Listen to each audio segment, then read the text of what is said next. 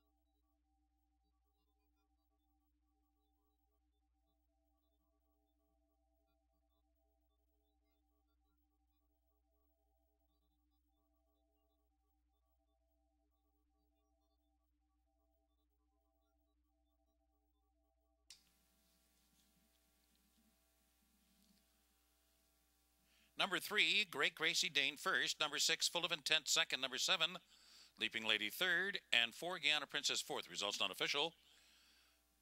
Three, six, seven, and four.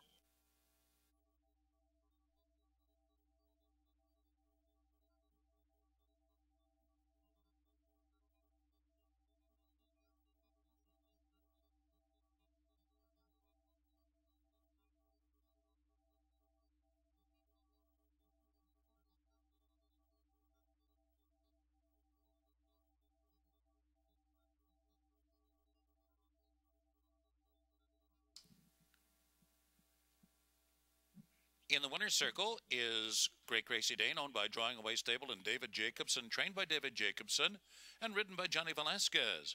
Great Gracie Dane's a five-year-old mare by Royal Academy from Pumpkin's Pride by Louis Quatorze. The time was 111 and 3.